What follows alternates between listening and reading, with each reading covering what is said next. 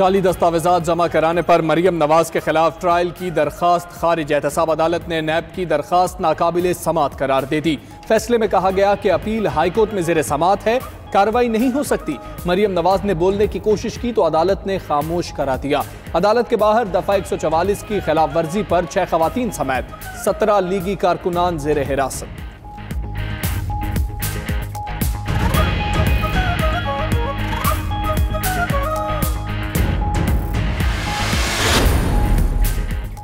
شہباز شریف کی جانب سے پارٹی کارکنان کی گرفتاریوں کی شدید مذمت۔ کہتے ہیں خواتین سمیت پارٹی کارکنان کی گرفتاری آمرانہ ذہنیت کا ثبوت ہے۔ اپنا جمہوری حق استعمال کرنے والے نہتے کارکنان کی گرفتاری عمران نیازی کے خوف کی علامت ہے۔ عوام کے حقوق کی جد و جہد سے پیچھے نہیں ہٹیں گے۔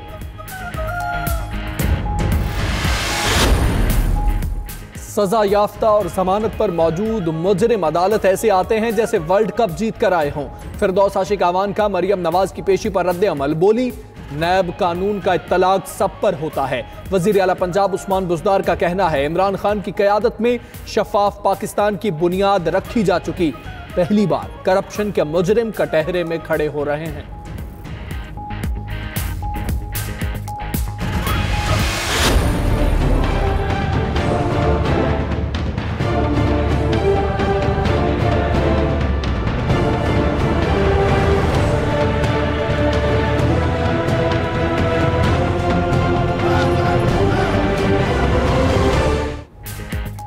سابق مشیر خزانہ مفتہ اسماعیل اور عمران الحق شیخ گرفتاری سے بچ گئے۔ سندھ ہائی کورٹ نے سات روز کے لیے حفاظتی ضمانت منظور کر لی۔ پانچ لاکھ روپے زر ضمانت جمع کرانے اور ایل این جی کیس میں نیب کے روبرو پیش ہونے کا حکم۔ مفتہ اسماعیل گرفتاری کے لیے آنے نیب ٹیم کو چکما دینے میں کامیاب۔ سب سات بجے ہی عدالت پہنچے۔ کینٹین میں بیٹھ کر چائے بسکٹ کھا کر وقت گزارا۔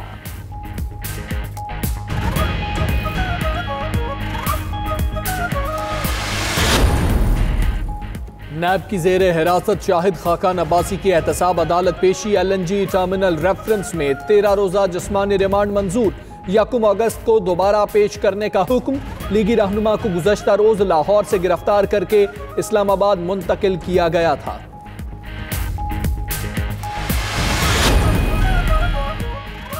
سابق secretary petroleum Abid Saeed L N G scandal میں وعدہ معاف گواہ بن گئے۔ چیئرمین نیب کے سامنے بیان ریکارڈ کرا دیا۔ ادھر ایل این جی معاہدے میں مبینہ بے ضابطیوں کی تفصیلات نائنٹی ٹو نیوز نے حاصل کر لی۔ قواعد اور پالیسی کے تحت لازمی ایل این جی اور قانونی اجازت نہیں لی گئی۔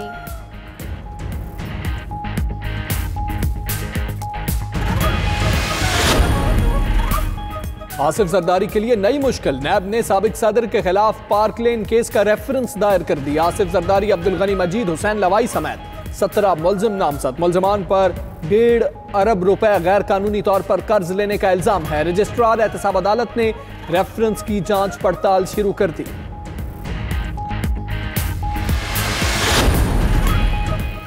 وزیر اعظم عمران خان آج میاں والی کا دورہ کریں گے۔ پانچ سو بستروں کے اسپتال اور میڈیکل کالج کا سنگ بنیاد رکھیں گے۔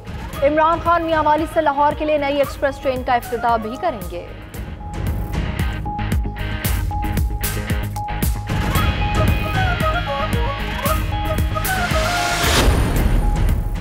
پاکستان سٹاک ایکسچینج میں مندی کاروبار کے دوران ہنڈرڈ انڈیکس میں تین سو سے زائد پوائنٹس کی کمی۔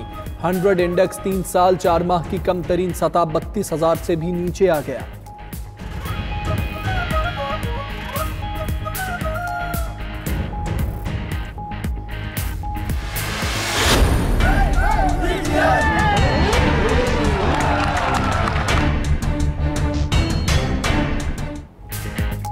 خیبر پختونخوا میں ضم ہونے والے قبائلی اضلاع میں پہلی بار صوبائی اسمبلی کے انتخابات کل ہوں گے۔ کے پی اسمبلی کے سولہ نشستوں کے لیے تقریباً اٹھائیس لاکھ ووٹرز ہاں حق رائے دہی استعمال کریں گے۔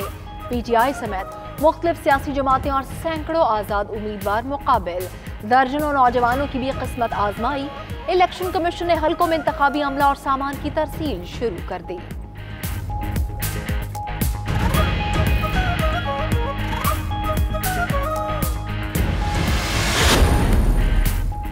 کراچی ایئرپورٹ پر شارٹ سرکٹ کے باعث متعدد دفاتر کی بجلی منقطع، کئی گھنٹے گزر گئے۔ سول ایویشن حکام بجلی بحال کرانے میں ناکام۔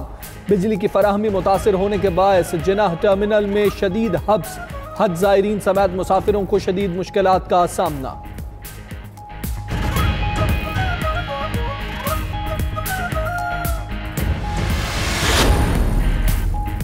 اقوام متحدہ میں پاکستانی کھانوں اور ثقافت کی دھوم، روایتی کھانوں پر مشتمل کتاب کی نیو یارک میں تقریب رونمائی۔ ملیحہ لودی کہتی ہیں، کتاب کے ذریعے پاکستانی کلچر، روایتی ذائقہ اور خوبصورت ثقافت کو روشناس کرایا گیا۔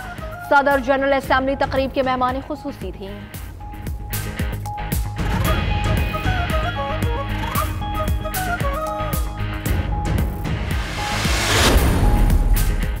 مشرق وسطی میں جنگ کے بادل چھٹ نہ سکے۔ امریکی صدر ڈونلڈ ٹرمپ نے آبنائے حمز میں ایرانی ڈرون مار گرانے کا دعویٰ کر دیا۔ ایرانی وزیر خارجہ جواد ظریف کہتے ہیں انہیں ڈرون گرائے جانے کے حوالے سے کچھ معلوم نہیں۔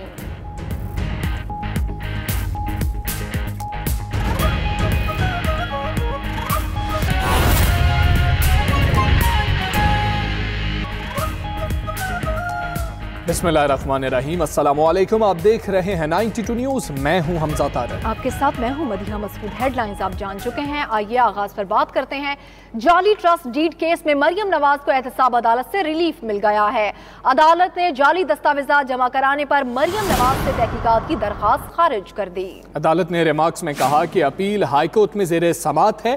فیصلے تک کاروائی نہیں ہو سکتی۔ ڈیپٹی پروسیکیوٹر نیب نے فرد جرم سے متعلق احتساب عدالت کا حکم نامہ پڑھ کر سنایا۔ عدالت کو یاد دلانے میں ایک سال کیوں لگا؟ مریم نواز کا نیب پروسیکیوٹر سے مکالمہ۔ نیب پروسیکیوٹر نے جواب دیتے ہوئے کہا کہ دیر آئے درست آئے۔ مریم نواز نے بولنے کی کوشش کی تو عدالت نے انہیں خاموش کرا دیا۔ جالی ٹرسٹ ڈیٹ کیس میں مریم نواز کو احتساب عدالت سے ریلیف مل گیا۔ عدالت نے جالی دستاویزات جمع کرانے پر مریم نواز سے تحقیقات کی درخواست خارج کر دی۔ عدالت نے ریمارکس میں کہا کہ اپیل ہائی کورٹ میں زیر سماعت ہے فیصلے تک کارروائی نہیں ہو سکتی ہے۔ مریم نواز کے لیے بڑا ریلیف ہے۔ احتساب عدالت نے ٹرسٹ ڈیڈ کیس میں نیب کی درخواست ناقابل سماعت قرار دیتے ہوئے خارج کر دی۔ اسی پر بات کریں گے فیاض محمود ہمارے ساتھ موجود ہیں۔ جی فیاض بتائیے گا ناقابل سماعت قرار دے دیا گیا جب تک اپیل نہیں سنی جائے گی تب تک احتساب عدالت اس پر کچھ نہیں کر سکتی؟ ہاں، جی آج نیب کی درخواست پر سماعت ہوئی تو نیب پروسیکیوٹر سردار مظفر عباسی نے عدالت کو دلائل دیے کہ جب ٹرائل چل رہا تھا تو مریم نواز کی جانب سے ایک درخواست دائر کی گئی جس میں شیڈیول سی یعنی کہ جو جعلی دستاویزات سے متعلق آفینس لگایا گیا تھا، اس کو نکال دیا گیا تھا اور کچھ وقت کے لیے روک دیا گیا تھا۔ تو اب وقت آن پہنچا ہے اور عدالت اپنے اختیارات کو استعمال کرتے ہوئے اس آفینس کی حد تک بھی فیصلہ سنائے اور ٹرائل کو مکمل کرے، کیونکہ جو فیصلہ سنایا گیا تھا، اس میں جعلی تصویر سے متعلق عدالت نے فیصلہ نہیں سنایا۔